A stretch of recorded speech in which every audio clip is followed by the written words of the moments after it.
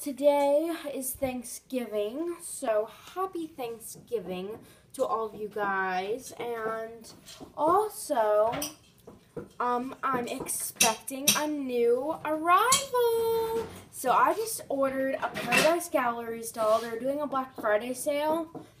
But, um, basically, what the thing is, is, um, there was a really good deal, but they're not doing it like in a store or anything. I wouldn't do that because I just can't sit in the crowds, like stand in the crowds on Black Friday. So, so, um, basically, they had a sale and some of the babies were 50% off. And I had, I got the Royal Baby Prince and he is just so cute. And so he was normally ninety nine ninety nine, and for the sale he was forty nine ninety nine.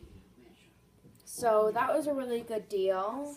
And so yeah, I just wanted to make this quick video and bye for now.